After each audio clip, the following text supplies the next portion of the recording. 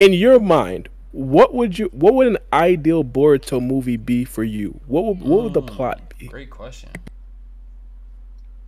Um, so like one of my patrons, Darkside, asked me to do a video like probably like last month, uh, about like Naruto stepping down Hokage, and it was because like the stuff like with the Karma Seal, right?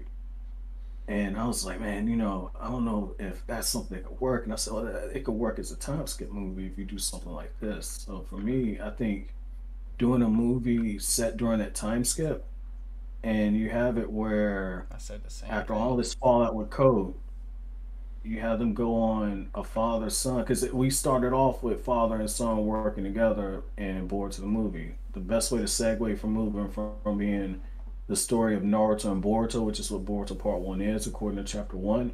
Mhm. The best way to segue away from that is to do a movie where it's father and son again. They're looking for answers. Maybe it goes back to the whole thing that we were talking about earlier, where they're looking for answers on how to potentially have Boruto's karma seal removed or slow down the progression now if those pills aren't working.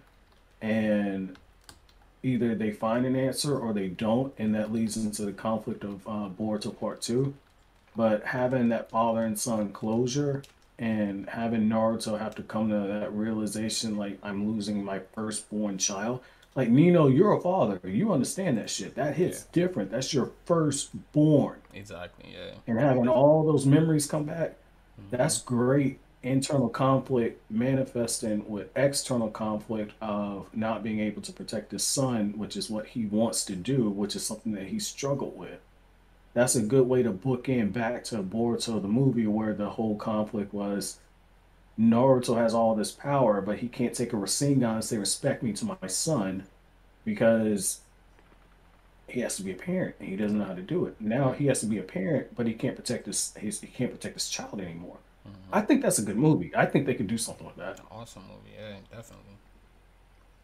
I have one last question I wanted to ask you before we hop off. Um, real quick. Um, Boruto opening 10. Um, what did you think about it? Is it correct me if I'm wrong, memory wise. Isn't this isn't this like the first opening where we see none of the Ojin? Like it's like like almost like the official passing of the torch with like purely new gen. I never even noticed that. You might be right. Like I'll be the Yeah, first one to say like I skipped all openings of boards. I, I watched like opening two. Oh, was And- super excited for this. Like Fact. what was it? It was Fact. Opening two and what was the other one? Uh fuck. Say it ain't so. The, the the the time the time slip opening I watched that and then the opening good that they did for uh what was it uh when when they started doing the Kara stuff where they started uh showing like Kara in the open I started watching the openings and other than that like I skipped all because like I said before I'm not like I prefer manga I don't really fuck with anime like that and so You gotta watch this do opening, an bro. anime opening like I like the the song got a hit and like the animation can't just be like some random bullshit. Like it better grab my attention. I'm hitting skip. Cause I just want to get to the actual That content. shit goaded.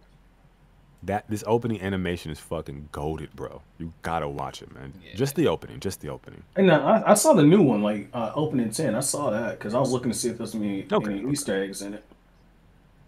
They I'm don't like, never. that, that could be they that could be a good don't- art. They they never really do anything with the openings though. Like it seems like the openings is just for aesthetics because even in that first, I think it was the first opening with that big ice, like it looked like an ice tail beast or something like that. Everybody was saying, "Oh, Boruto's Oh, about to oh, be a Jinchuriki of this tail beast," blah blah blah. Nothing from that opening ever ever happened in the series. I, mean, think you that's go back to stuff is allowed. Naruto. Like we didn't see Naruto and Sasuke and Sakura fighting some uh, rogue ninjas and shit that you saw like in the first Naruto opening. I mean, that's just anime anime uh, opening clickbait. Yeah, that's what I'm saying. It, it- it's hit or miss in my opinion. I mean, the last opening we did see a lot of that content in actual anime, but it's hit or miss. It's hit or miss. I don't really be paying attention to the openings to tell y'all the truth. Like uh, like Ian said, Same. I, I kind of skip over them. I, I always yeah, I always skip the intro. I always skip the intro to get to the the freaking show. wasn't I ain't got one. no time to sit there and watch the intro. I mean, at least watch That- it once. Like I did a whole breakdown video on this opening. Like, Yeah. there's, there's some shit in that shit, bro. Like it's, it's a great. I just, I just no, want to get your a, opinion. it's a it's an awesome opening. I'm not I'm not down in it. Yeah. I'm just saying as far as Yeah, like, opening. watching Yeah, anime, I I didn't don't really watch openings. Like outside of like Kawaki and Boruto, the symbolism there. What else did you see in the opening? Because like, I was looking for shit. 'Cause I was I did a I, I- I did a Mm. breakdown last opening and then they did, and like, I'm looking at this. And I'm like, I ain't about to waste everybody's time. Just talk about like, oh yeah, this is the symbolism of Boruto still being destined to deal with karma and uh, Kawaki being free of it and still stumbling his way through. I was like, nah, I've already talked. About, I'm not gonna. I'm not gonna do that to people. I'm not gonna really talk about the same shit. I think it's I think it's less like um, rehashing things, and it's, it's more like okay, they did something new. How how can you interpret this new thing that they did based off the old thing that's established? Okay. So it, Yeah. it's, so it- it's more so like that. So for for example, Sarada in the opening has two tomos in her Sharingan. We understand at any given moment she could get a third. So I think that right there might be telling in regards Well, to the upcoming arcs.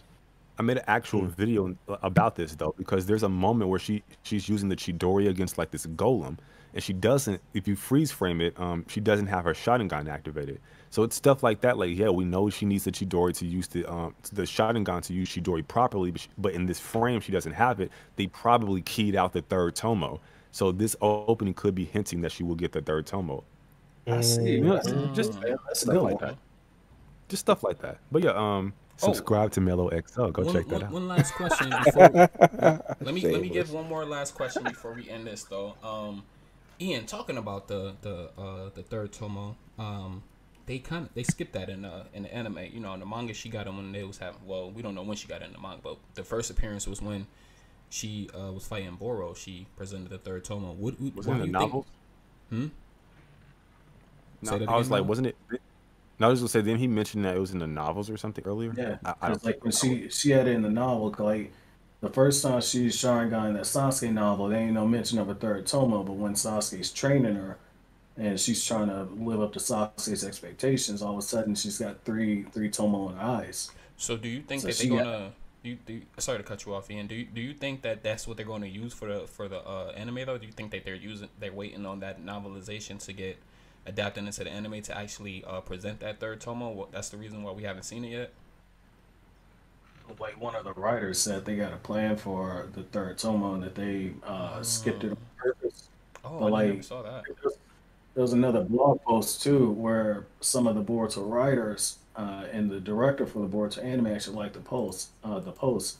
But some of the writers are saying like, yeah, you know, we went through like 55, 60 episodes of doing all this stuff for uh, the manga content. Mujina Bandits all the way to Kara. It was a big endeavor for us. Like a lot of people don't know this. Like those uh 215 6 no 216 17 18 naruto and sasuke versus isshiki baryon mode naruto versus isshiki and then the kurama send-off that was the biggest stretch of high-level animators in the entire naruto franchise working on all those episodes Mhm. It showed.